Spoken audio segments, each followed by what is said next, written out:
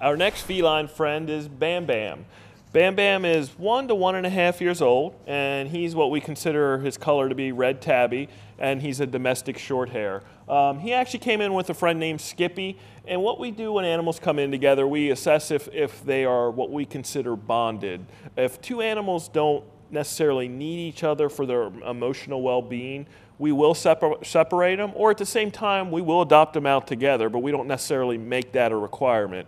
Uh, if you've watched this show in the past, I know you've seen animals that we considered bonded, and we would say these animals have to go together.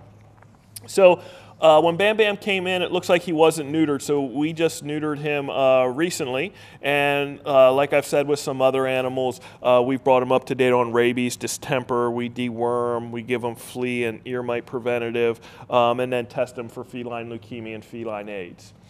So Bam Bam is what's considered a Hemingway cat, or a more technical term is polydactyl. So he has some extra toes on his uh, feet, on his front feet. And uh, some people look for that in a cat. It's, it's a unique characteristic.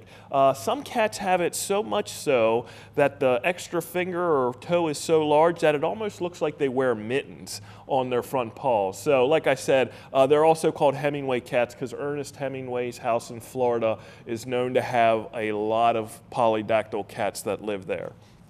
So Bam Bam was brought into us because uh, the folks were moving and they could no longer take care of him. Um, you know, that's a common theme that we hear that people move and they can't take their pet.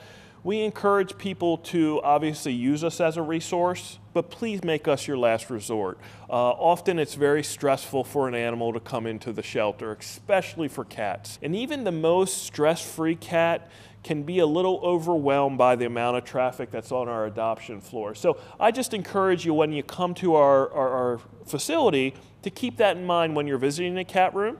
Um, if you have a kid, I have young kids, try and encourage them to be calm and a little quiet.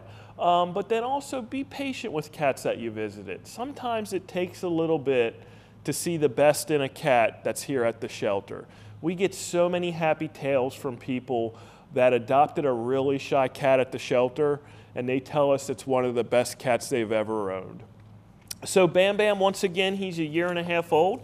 He's a red tabby male, and he's looking for his next home.